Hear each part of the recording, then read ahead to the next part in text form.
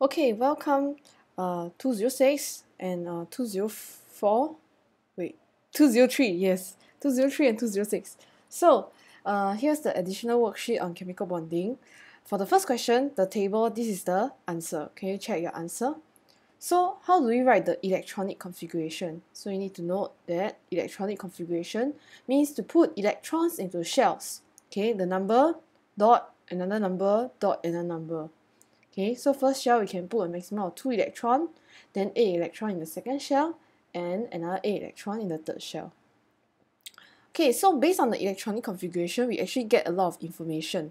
For example, mm, this question on what is the chemical formula for the ion of D?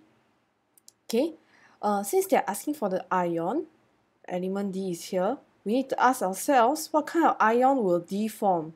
Now D has the electronic configuration of 281, meaning that it should lose one electron to form D plus. Okay. Okay, so some of you may be writing Na plus. Okay, a wrong answer, Na plus.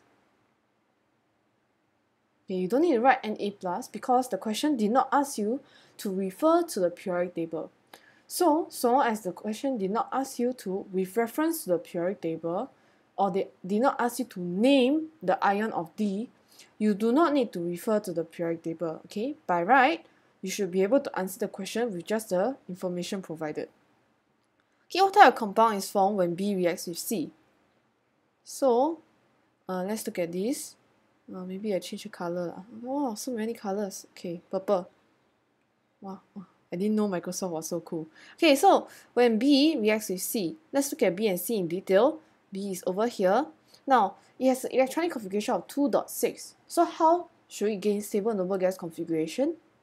Okay, it should gain two electrons.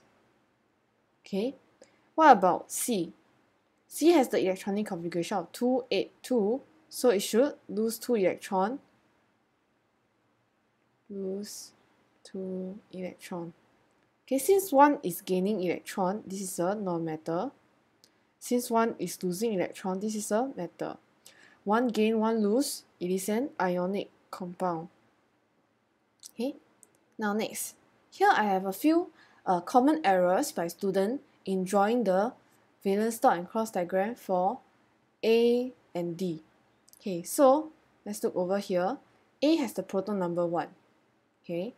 And D has the proton number 11 so based on the previous question we know that D is a metal that will lose one electron. So what does it tell you about A? Okay A is actually hydrogen and we know that hydrogen is a non-metal. Okay so metal non-metal this forms an ionic compound. Let's look at the first question. Okay can you tell me what is the mistake at this first diagram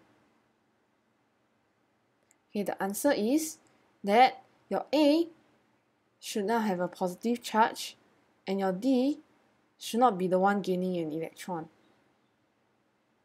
Okay, let's look at the second one. Okay, here in the second one, D did lose one electron, whereas A did gain one electron. Okay, the charges should be correct also. So what is the mistake in this uh, diagram?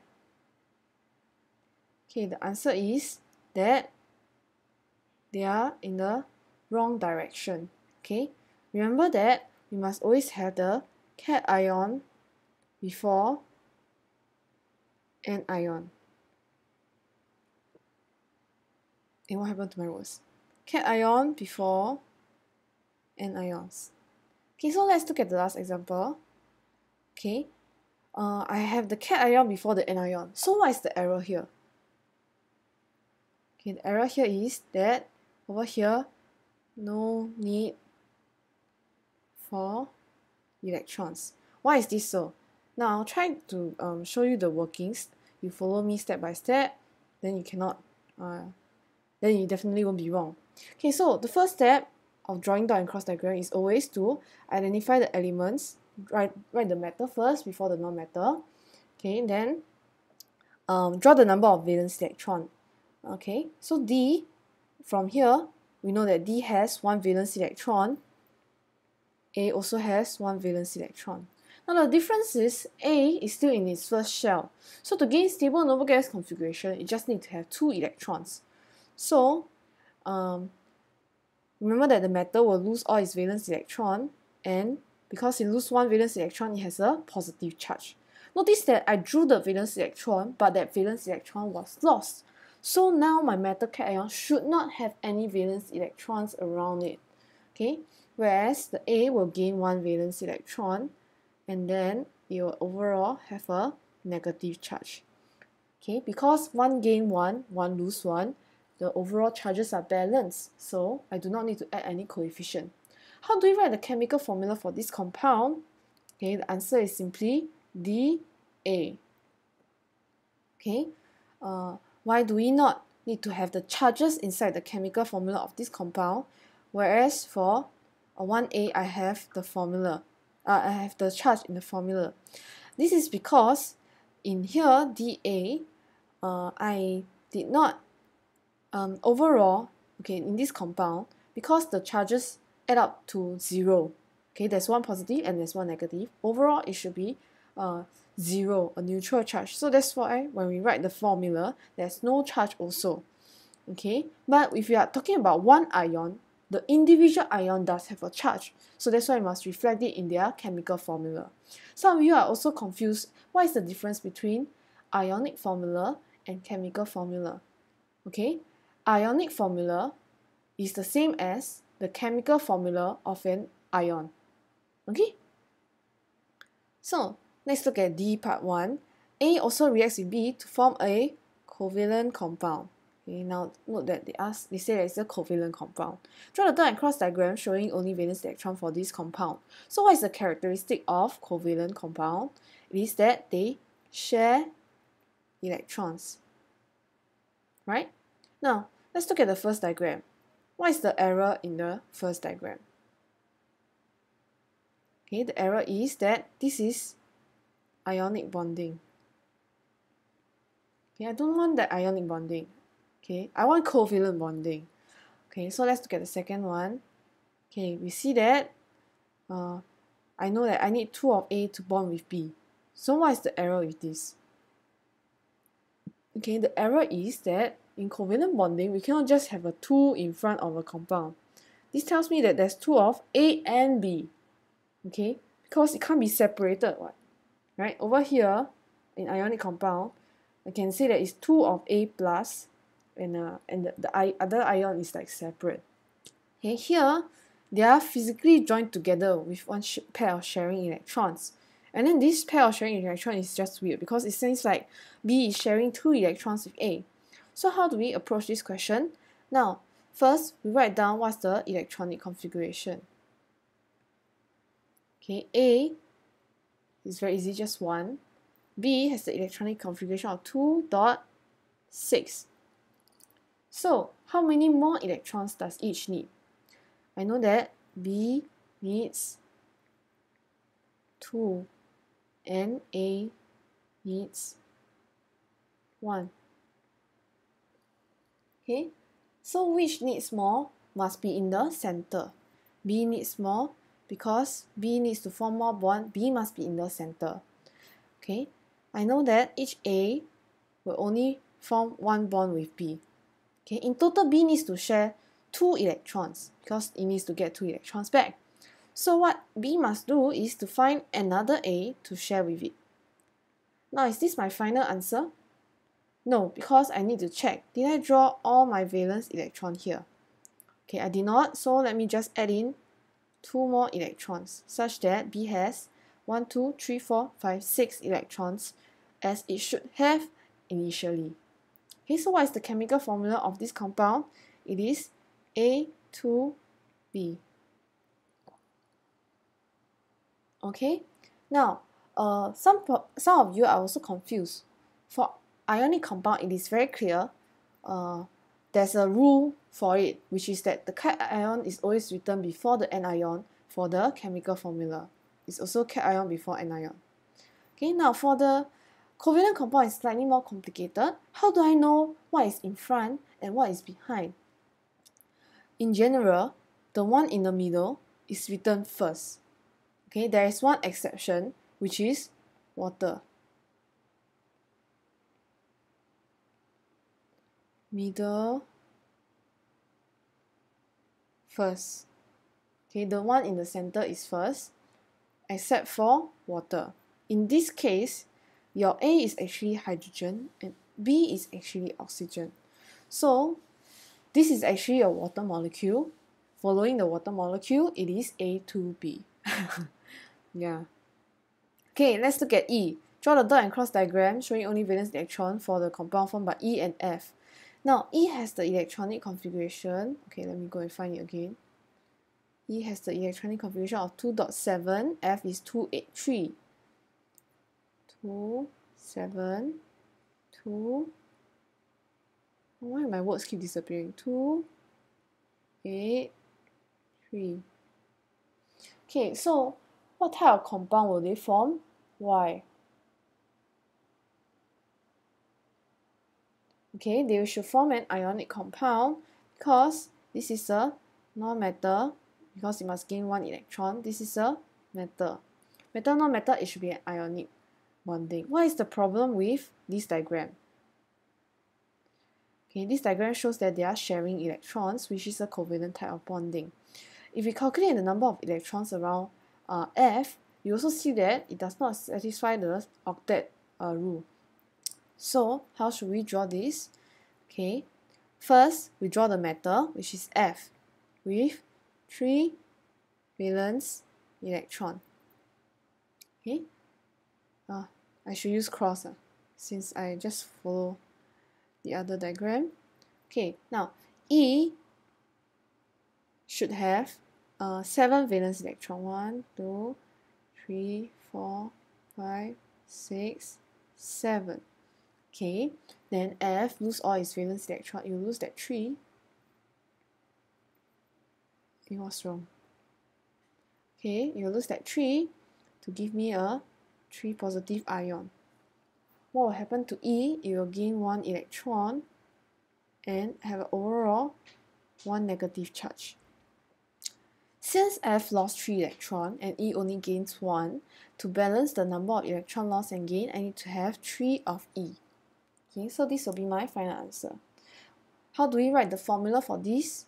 Uh, for this compound, it is F E 3, the subscript 3 belonging to the E. Okay, again, we have some common errors. Let's look at the first one. Okay, between lithium and oxygen, what is the error in this drawing? The answer is your lithium is of the wrong symbol. Lithium has a symbol of Li. Okay, now let's look at the second drawing. What is the error here? Okay, the answer is the error lies over here where the electrons are paired up.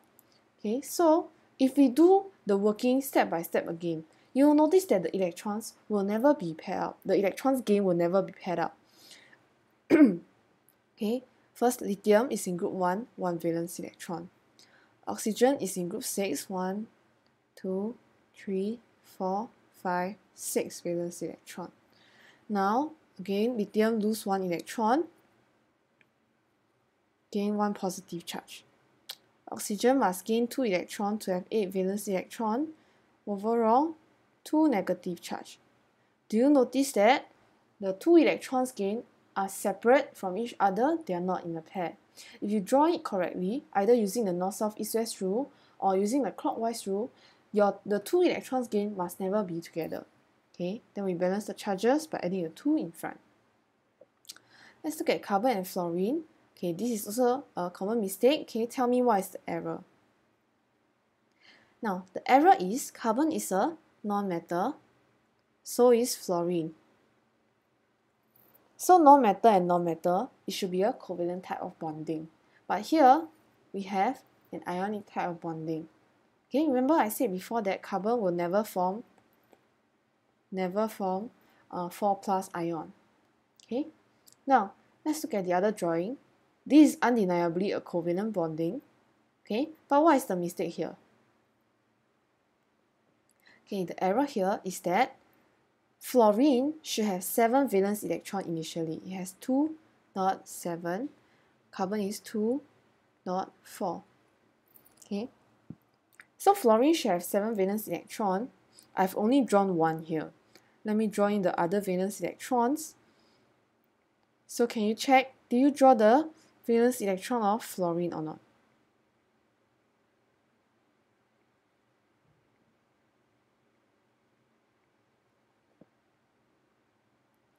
Now let's look at nitrogen and magnesium. This is one of the common errors again. Can you tell me what is the mistake? Okay, again the mistake is the same as the previous example where the electron gains should never be paired up. Again, let me draw it step by step. Magnesium, group 2, 2 valence electron. Nitrogen, group 5, 1, 2, 3, 4, 5. So I have 5 valence electron. Magnesium will lose that 2 valence electron and gain a charge of 2 plus. Nitrogen will gain 3 electrons and gain a charge of 3 minus. Okay, one lost 2 electron, one gain 3 electron. Their LCM will be 6. So this one times 3, this one times 2. This will be my final answer. Notice that the three electron gain, the crosses, are all not together. Okay, so you must always, always follow the steps. Okay, just draw in sequence. Use your pencil to draw. Uh, phosphorus and chlorine. So many, so many, so many types of mistakes. Okay, let's look at them one by one. Okay, tell me what is the error here in this first diagram. Okay, the error actually lies in um, what exactly is the electron of phosphorus? What is the electron of chlorine? Now, if you tell me that the dot is the electron of phosphorus, then what about these electrons around chlorine? If you tell me that the dots are the electrons of chlor chlorine, then what about the electrons here? Okay, so what are the crosses? It's a mystery. Okay, so can you check? Do you use two different symbols for phosphorus and chlorine or not? Okay, next mistake. Let's look at this. What is the error that you see? Okay, the error is actually carbon. Uh, C means carbon. What did the question ask you? Chlorine. Okay, chlorine is Cl. Okay, Cl not equals to C. Okay, a lot of students still make this error. Now let's look at the last one and the most common error. What do you notice? Okay, your phosphorus, you did not draw finish all its initial valence electron. So I should have two more here. Okay, so this will be your final answer. Okay, if you still have any questions about chemical bonding, please email me at my email address. Okay, thank you.